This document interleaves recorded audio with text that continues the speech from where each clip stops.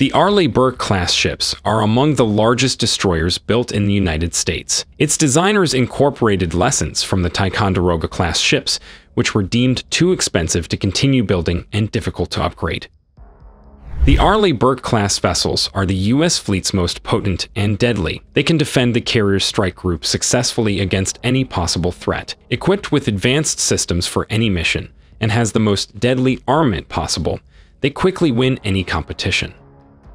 These warships were designed as multi-mission destroyers, able to fulfill the strategic land strike role with Tomahawk missiles, anti-aircraft warfare role with powerful Aegis radar and surface-to-air missiles, anti-submarine warfare with towed-array sonar, anti-submarine rockets, and ASW helicopters, and anti-surface warfare with Harpoon missiles.